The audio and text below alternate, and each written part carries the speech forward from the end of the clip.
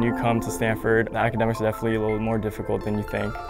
In terms of athletics, you do come across some obstacles such as injuries and such. So I, I say definitely you have to keep your head in there, um, always keep your head up, uh, be optimistic because future is bright and everything at Stanford is definitely as great as it seems.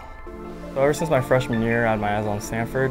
I've always wanted to go here, it's kind of just like a dream. And then I think by the end of sophomore year, um, I, was, I was doing okay in baseball, had really good academics, and I had this goal that by the end of junior year, I, will get into Stanford. So I had this, this determination and will to push on. Well, the brotherhood on the baseball team is very unique because you spend every day with this team. So eventually you tend to grow closer to each other. We do everything together. In that process, you, you naturally form the bond where it kind of translates to the baseball field as well. If one man is, is kind of struggling a little bit, everyone's there for support to help them pull their weight. And in that process, we kind of pick each other up and hopefully find some success. I was fortunate enough to have the walk-off hit at Nine's final home game. He kind of pulled me aside right before my bat and told me to tweak my hands and believe in myself.